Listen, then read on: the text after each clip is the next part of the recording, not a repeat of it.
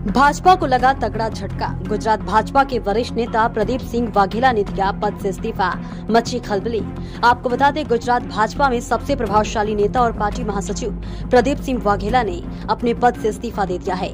इसको लेकर पार्टी के वरिष्ठ नेताओं ने चुप्पी साध रखी है। हालाँकि पार्टी के विश्वस्त सूत्रों ने इसकी पुष्टि की है। उन्होंने कहा कि भाजपा इस मुद्दे पर अपना पक्ष जल्द ही रखेगी।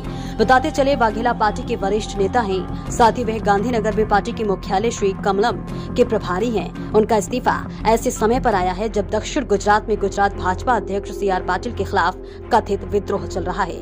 फ़िलहाल आपको बताते चले, गुजरात भाजपा के वरिष्ठ नेता प्रदीप सिंह वाघेला के इस्तीफे से भाजपाइयों में खलबली मची हुई है।